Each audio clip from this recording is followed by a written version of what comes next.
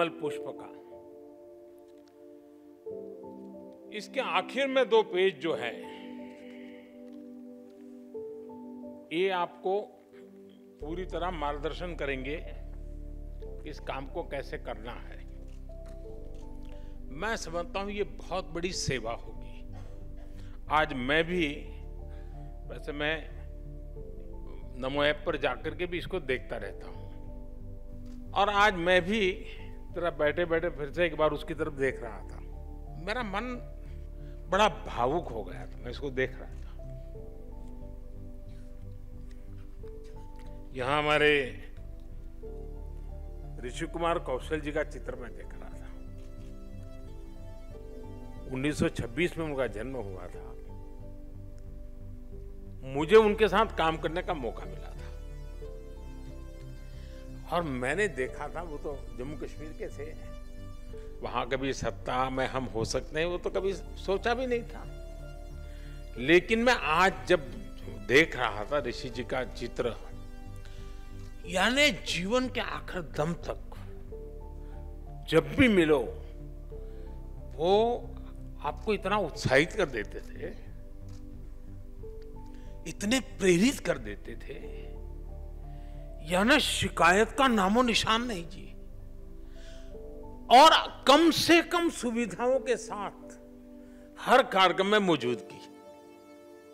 यानी ऐसे बहुत, मैं ऋषि कुमार को तो मैं, आज ऐसे ही मेरा ध्यान गया तो मैं कह रहा हूँ, मैं यहाँ में सब मैं कई लोग हैं जिनके दर्शन करने का मुझे सौभाग्य मिला है। लेकिन ऐप पर तो बहुत है, और भी बहुत है। आपका कोई तहसील ऐसा नहीं होगा जहाँ जनसंघ के जमाने के कोई ऐसे नाम न हो, आज शायद मौजूद नहीं होंगे। पुराने चित्र होंगे, उनके व्यक्तित्व के फ़ोटो होंगे, उनके परिवार के फ़ोटो। अब तो कोई ऑफ़िस की स्पेस की तो कमी नहीं है, क्लाउड है पूरा। हम जितना डाल सकते हैं, देखिए भारत, भारतीय जनता पार्टी और भारतीय जनसंघ का एक इतनी बड़ी सेवा होगी हमारे से। हो सकता है कुछ लोग दल छोड़ के चले गए होंगे।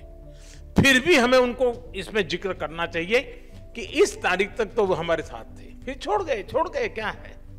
किसी और दल में गए होंगे गए होंगे। लेकिन कभी तो हमारे साथ थे।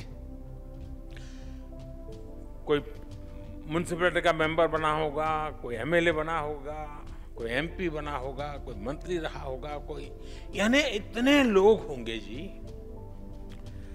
भारतीय जनता पार्टी ने समय सीमा में इसके पीछे लग करके इस काम को करना चाहिए। मैं सच बताता हूँ, और दूसरा, कभी हम भी अपने राज्य के लोगों के जीवन की ओर देखें। कभी कभी इसकी चर्चा करें। मीटिंग में हम कार्यकर्ताओं को कहें कि भी आप नमो ऐप पर, जो हमारे डिस्ट्रिक्ट के पुराने कार्यकर्ताओं के नाम है उसमें से दस व्यक्तियों के विषय में सबके बीच में आकर के बताओ। आप देखिए, ऐसी प्रेरणा मिलेगी कि कैसे कैसे लोगों ने काम किया होगा। और मैं समझता हूँ इसको हमने एक हमारी जीवंत व्यवस्था का हिस्सा बनाना चाहिए। क्योंकि हम कोई परिवार आधारित या व्यक्ति आधारित लोग नहीं है। हम परंपरा आधारित लोग हैं। हम पुरुषार्थ के पर्व पराक्रम के अधिष्ठान पर चलने वाले लोग हैं। और इसलिए हमारे लिए ये अपने आप में एक बहुत बड़ी पूंजी है। और टेक्नोलॉजी का इससे बड़ा उत्तम उपयोग कोई और नहीं हो सकता जी। इससे बड़ा उपयोग कोई नहीं हो सकता है। मैं मानता हूँ शायद। नमो ऐप पर बाकी पचासों चीज़ें कितनी अच्छी क्यों ना हो, इससे बढ़कर मुझे और कुछ अच्छा नहीं लगेगा, ऐसा मैं मानता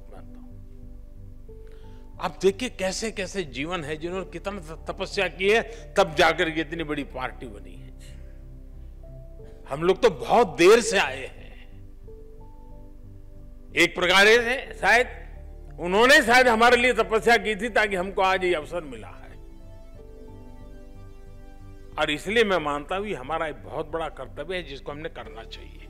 जनसंघ और भाजपा के शिल्पकारों की प्रेरणादायक कहानियाँ। नमो ऐप पर साझा करना बहुत ही सरल है।